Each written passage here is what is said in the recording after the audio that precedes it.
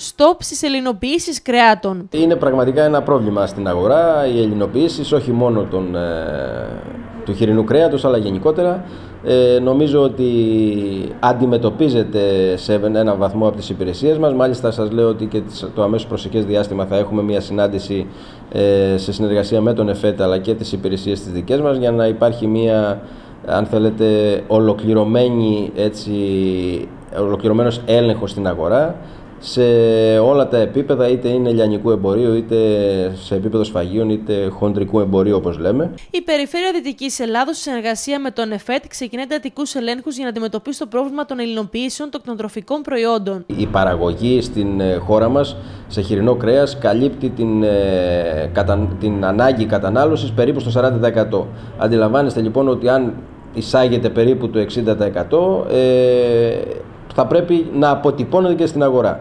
Ακριβώς αυτό μου έβαλαν και εκεί νομίζω ότι θα υπάρξει και ο έλεγχος και η δυνατότητα στην, ε, από τις υπηρεσίες της δική μας που μπορεί να υπάρχει. Σε συνάντηση που είχαν οι χειροτρόφοι με τον Αντιπεριφερειάρχη Γιώργο Αγγελόπουλο, μεταξύ άλλων ζήτησαν και τη στήριξη περιφέρειας, μιας και μόνο η τελοκαρνανία κατέχει το 10% της χειροτροφικής παραγωγής στην Ελλάδα. Μιλάμε για μια παραγωγή αρκετά μεγάλη. Περίπου είναι η παραγωγή της τελοκαρνανία καλύπτει το 12% της εγχώριας παραγωγής. Αντιλαμβάνεστε ότι είναι αρκετά σημαντικό νούμερο.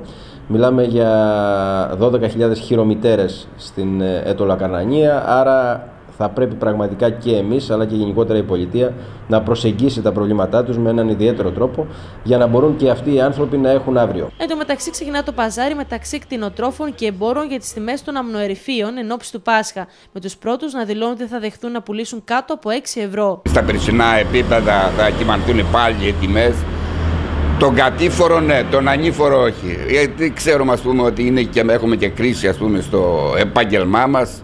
Τι να, τι να ζητήσουμε, τι να ζητάμε από τον κόσμο, όσο μπορούμε θα βοηθήσουμε και εμείς στον κλάδο μας. Δεν υπάρχει το χρήμα στην αγορά, λείπουν τα δώρα, όπως το ζήσαμε και τα Χριστούγεννα, θα το ζήσουμε και τώρα. Ε, και θα προσπαθήσουμε με όλες μας τις δυνάμεις, δηλαδή να πιέσουμε τους παραγωγούς να μην τα πάρουμε πάρα πολύ ακριβά να μπορέσει και ο καταναλωτής να φάει το αρνάκι και να είναι και ποιότητας και να είναι και τιμή υποφερτή.